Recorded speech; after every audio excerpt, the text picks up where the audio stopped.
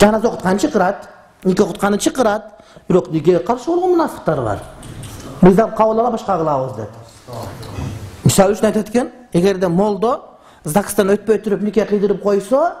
молду үч жылга беш жылга камалыш керек экен молдо сен жетелеп келип никени кыйдап атабы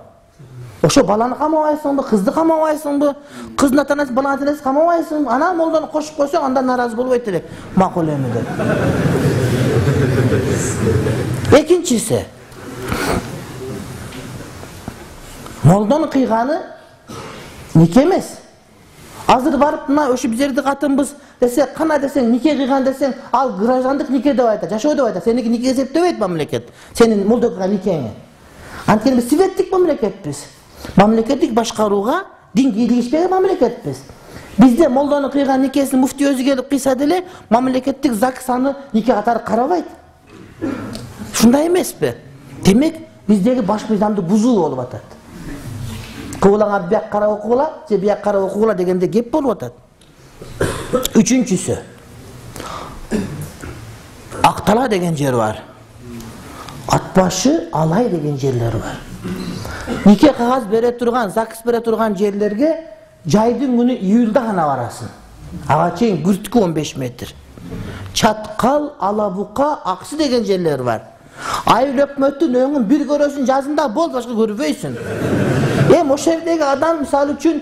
ноябрдын биринде кар түшкөндө үйлөнгүсү келип калса бул эмне кылат жазга чейин эмне кылат бул эмне кылат бул гей болуп кетсинби а кыз эрге тийгиси келген эмне кылат лесбиянка болуп кетсинби эмне деген сөз бул мыйзамда адамдардын жашоосу жакшы болуп оңдолгонго шарт түзүп бере турган мыйзам болуш керек беле адамдарды кыйнаш үчүн болобу а бишкек туура жакшы экен чуркап барсаң ал жерден аласың кайра келесиң бир кат нотту мындай мындай кылып медеп берип коет келе бересиң акыбыз дагы кантет анда адам дойлош керек кичине чынбы тууганым туура биз нике кагазына каршы эмеспиз колдойбуз а мен сунуш кылат элем ар бир айылдагы молдого нике кыя турган лицензияны муфтият бериш керек дагы ошол лицензиянный молдо ошол жанагы загстарда кызматка отуруш керек. Нөл жыйырма беш штат менен. Акча бербей деле койсун бекер. Бесплатный биз фисабиль иштеп беребиз. Болгону эле бир кинигени берсин. Нике кыйганы барганда оң колтугунда куран болот сол колтугунда кинеге болот. Кинегага каттайт күбөсү бар ишмат ташмат ушул эле адам чынбы. Загстын кагазы паланча түкүнчө күйөөсү паланча түкүнчө аялы колдугот экөөнө колду койдурат кайра колтукка кысат да оң колту ачып алып куранды ачып никени кыйып чөнтөк толтуруп алып кете берет бир айда айыл өкмөткө барат да кагазын берет ошого кол коюлгандан загс кагаз бере берет анан эки иштен бир иш чынбы оңой да а молдо каттаныйт баардыгы азыр ошо айыл өкмөттө турган жанагы жазып аткан катын менен молдо эмне айырмасы бар андан да илимдүүрөөк кайра көбүрөөк ошол жака барып неме болуш керек бюрократия болуш керек эмне болуш керек кинигеге түшсө болду да а киниганын негизинде кагазды никени бере берет мен таң калам ушуларга эмне адамдарды кыйнагысы келет булар зынага ким жооп берет а зына болгондо жаман бүт келеси жолу туулат анда кудай сактасын кудай сактасын сүйлөйүн десең эркек депутаттар эмес экен ошого сүйлөөгө тартынбасыңдар байчы кетпей кой кой кой депчи мынтипчи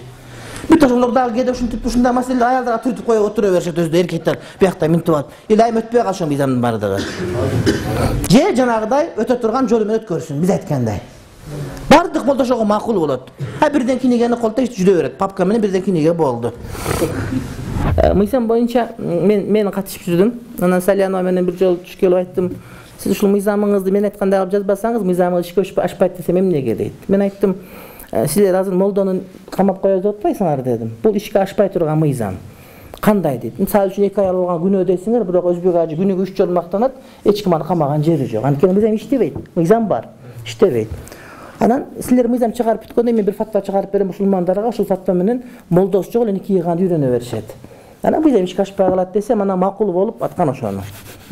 Бирок кийин да кабыл болгондо кичине өзгөрүлүп калыптыр. Мыйзам азыр бизде мындай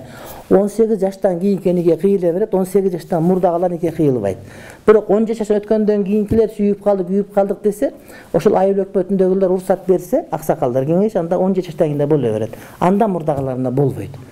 биринчиден бизде кыздардын баардыгы эле он жетиге чыкканга чейин никеге даяр болуп бүтпөйт балким бою узун болуп калды башка болуп калды балким төшөк маселесинде көп нерсеге жарай бериши мүмкүн бирок үй бүлөнү күткөн акыл эси эте элек болот буларга анткени күйөөнү кабыл алыш керек кайненени караш керек үйдүн кызматы бар баланы тарбиялаш керек дегенде түшүнүктөр бар да сөзсүз түрдө ал ошол төшөккө жарап берсе эле баардыгы бүтүп калат деген сөз эмес аны көбү түшүнбөйт молдолор айтсаң болсо астагфирла дейт да бизде балагатка жеткенден кийин дагы никеге жараттуу деген сөзү ошол никеде көп нерсе бар да ал жерде кайната кайнене деген бар үй бүлө институту деген бар ошолордун баарын камсыздаш керек ошого караганда туура эле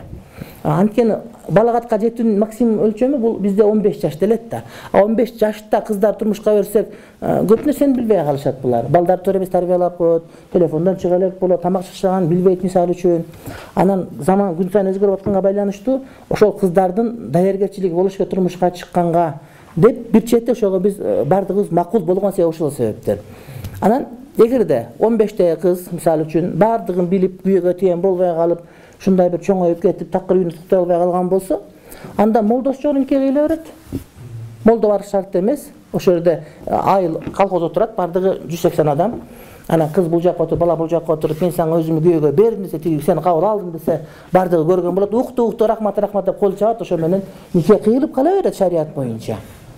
а биздики молдо эмне үчүн молдо керек болот молдо биринчиден кыз менен баланын никеге турган турбастыгын тактап берет экөө тууган эмеспи мурда турмушка чыккан эме айтор никеге турганга шарият тараптын укуктары барбы жокпу тактап берет биринчи экинчи никенин түз кыйылышын көзөмөлдөйт молдеке үчүнчүсү калың маселе төртүнчү кусул маселе бешинчи талак жаман экенин айтып айтор никеде укук милдеттерди сүйлөп берет да. Эми аны айтат чогуу ажы мына китебинен муну окуп аласыңар абдышүкүр ажыдан муну окуп аласыңар муфтийдикинен муну окуп аласыңар. Анан силердики так окуган никеге турсаңар боло берет экен бирок нике кыйып бере албайм деп мойнунан тартат анан үйүнө барып туруп өздөрү ошо отуруп нике кыйып алышат өздөрүнүн өздөрү анан келип молдосу жок нике кыйылды эми айылдын баары камап кое берсин пожалуйста. Мен коштурдум да. Эгерде камай турган болсоңор молдодон мурда кыздын өзүн камагыла эрге тийип аткан баланын өзүн камагыла кыздын ата энесин баланын ата энесин күбөлөр анан молдоге акырында камаса макулбуз. Эгер мажбурлап берип аткан болсо. Анан молдонун өзү камап ата энеси биякта калып кетсе болбойт да. Ата эне молдо келбейт да аяка анан күбөнүн баардыгын эгерде тойго дүбөөдө экиден шарт эмес да жүз адамды күбөгө катыштырып койсоңуз жүзүнүн тең чакырып келип сот камаш керек болот да ошон үчүн мен нике кыйган жерде канча адам болсо уктуңар десем баардыгы укту укту деп баардыгын күбөгө өткөзүп алып туруп андан кийин нике кыям эмне деп ушулардын баарын кошуп ала жатайын депчи барбы ата айыл нике кыйган туура эмес молдолордуку эми чала сабат көп баардык жерде чала сабаттар бар. Кыздын атасы же агасы болмоюнча кыйбаш керек анткени кыздар билбейт да бизде кыргызда бир макал бар аял киши дейт бир эрге тиерде бир жерге сиерде көзү караңгылап калат дейт да билбейт жак шатыр коюп келсе күйөөгө тийип кетип калат кийин атин кылат ошон үчүн аларга вали же вакил айтор тайэкеси же биринекеси айтор бир чоң эркек адам күбө болмоюнча башчы болмоюнча күйөөгө тийген болбойт деп айтабыз биз illa бир ата энеси таптакыр жок болуп калса ошол убакта дагы ошол жердеги казы же муфтий же бир эң авторитеттүү молдолордун бирөө ошондордо туруш керек мисалы үчүн мен өзүм көп жетим кыздарга агалык кылып аталык кылып мен никеге туруп берем арызданса мага келишет мен айтам сени сурап отурган менмин анткени мен бирок муфтий болгом эл мени тааныйт башка башка ошон үчүн мен вакили болуп берем эме вали болуп берем анткени бизде атайын шарият боюнча кагыз дегендер жок да бишкектин кагызы деген бишкектин молдосу деген сөз ошон үчүн ушундай учурлар бар бизде азыраак ата энеси жок болуп калган кыздар жети детдомдон келген. Берин фонддон чоңойгон кыздар келип калса анда мен тактап деп башка кылып сүйлөшүп башка кылып тоюна да өзүм катышып барып никесине катышып барып анан өзүм суранып туруп каяктасың мага сабакка келип туруп отчетун алып турам ушинтип ошондой анткени кыздарды коргоп калыш керек эркектер кетип калса кантет баягы куштар боюнда болгондой билип калат ал үчүн ошо таштап кеткен баланы барып тепкилей турган бирөө болуш керек биякта өчүн алыш керек го акыры? Кызды кордотпош керек го мусулманбыз да биз дегенчи. Адамбыз биз. Ошон үчүн кызды коргоп кала турган бирөө туруш керек. Барып буй турган. Устаз нике кыйылып жатканда аял багыштадым дебей ии десе ошо нике дурустпу кененирээк айтың рахмат негизи аял эмне деши керек? дейт аял киши өткөн чак менен макулмун деш керек же өзүмдү багыштадым деш керек анан жүн эле уялчаак болуп кетсе